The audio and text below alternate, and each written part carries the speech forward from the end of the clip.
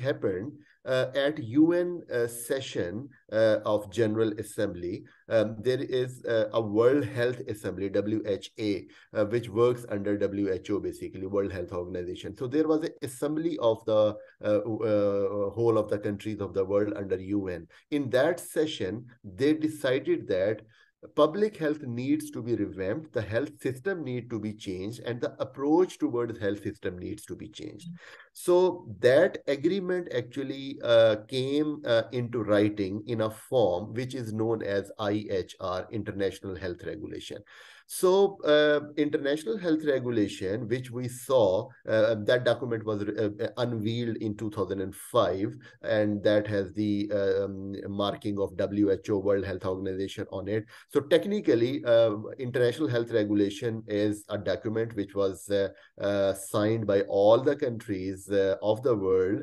194 member states of UN are at the moment. So 194 member states signed that document, which um, came on the surface and now known as uh, International Health Regulation 2005.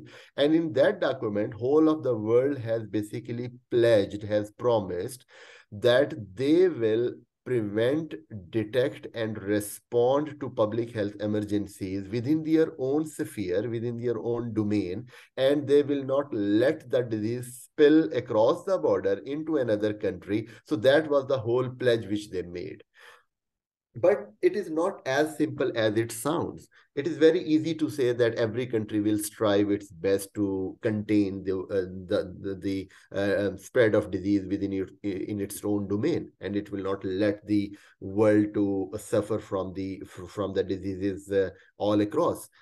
Point is that uh, uh, in international health regulation they uh, when I say they, it means WHO, um, which is a technical lead on health related matters all around the world.